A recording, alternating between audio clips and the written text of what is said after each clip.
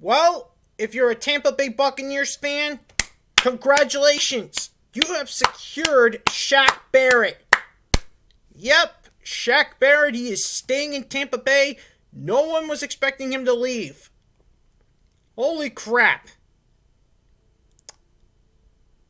That was quite the shocking, to say the least. Now, the Shaq Barrett news was before the Romeo Okwara news, but still, I wanted to wait until we get the complete details of the contract. I mean, seriously, we needed to know the contract before I could do a video about it. I mean, seriously.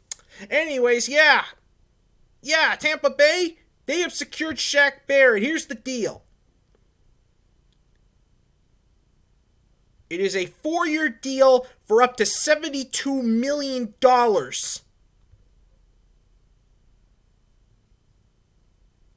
He gets $36 million fully guaranteed. That is huge. A lot of money.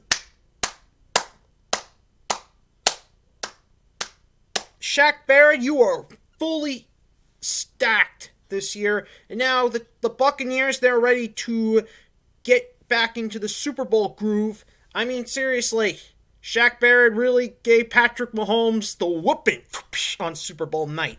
And now the Buccaneers are expecting to try this again. Good luck. Good luck, Tampa Bay. Let's just hope Shaq Barrett is ready for a, for a beatdown with anybody next year because guess what? There is a chance you could play Buffalo Bills on opening night.